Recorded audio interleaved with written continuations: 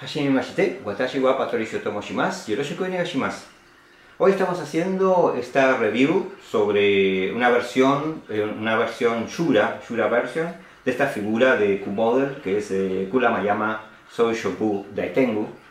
Um, y quiero decirles que la figura es ya, desde, desde, ya les digo, es una figura fantástica. ¿Mm? Es una figura que tiene un montón de detalles y que paso a comentarles a continuación.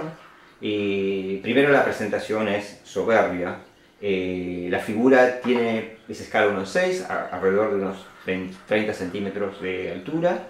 Tiene más de 20 puntos de articulación, ciertamente. Realmente el, el, el esculpido de la cara es muy bueno. Y tiene, lo que tiene eh, Q-Model, a diferencia de otras marcas que hacen figuras de samurai, eh, las armaduras son de metal, diecast. Entonces, bueno, tenemos muchas eh, ventajas a lo que hacen a, su presentación.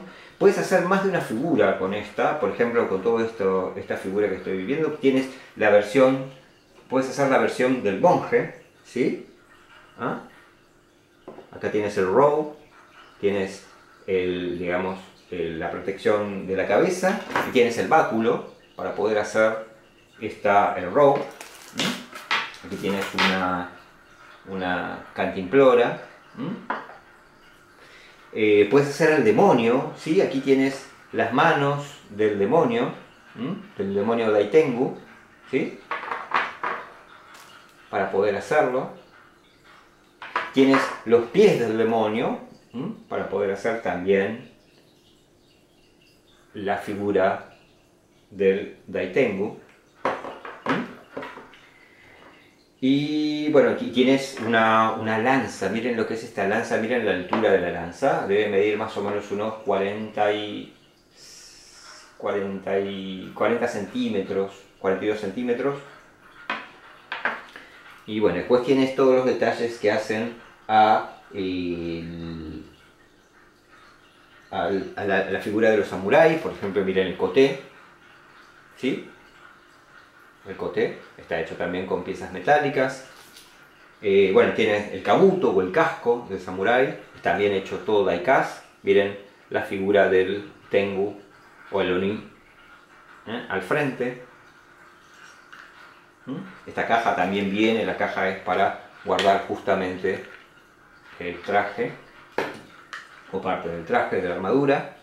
Eh, viene con una katana espectacular, miren lo que es la katana, la katana les digo es de metal, ¿sí? Miren la puñadura, los detalles de la vaina. Quiero decirles, poner, armar toda la figura no es sencillo, menos mal que viene, eh, viene, eh, por supuesto, las instrucciones. Este es el sodé, fíjense, el sodé que va aquí en la parte lateral de los hombros. Bueno, ya les mostré el kabuto, les mostré el sodé, les mostré el coté. Y bueno, todo lo que ustedes ven, bueno, esto es por ejemplo el do, la parte del frente de la armadura. Este es el haidate, ¿sí?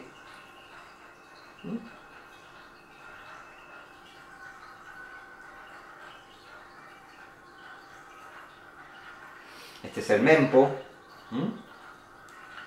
Bueno, fíjense la figura, lo que es la parte trasera del Do, es realmente una belleza. Fíjense que la figura viene con varios tipos de pies, viene con estos pies que me da la impresión que estos son los pies para el, para el monje, ¿sí? Como las guetas. No, los, guerreros samuráis no iban a la batalla en gueta, iban a, a Samurai con este tipo, eh, a la batalla con este tipo de sandalias, que son las que van, en este caso, las que irían con la configuración de Samurai. Y les insisto, hay tanto material que puedes hacer más de una y me atrevería hasta tres figuras. Por supuesto debes agregarle cuerpos y algún que otro accesorio, pero las máscaras, fíjense la cantidad de máscaras que tiene. La máscara se coloca de manera muy sencilla.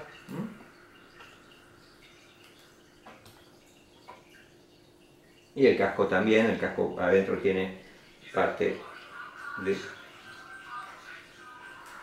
Es realmente fantástico.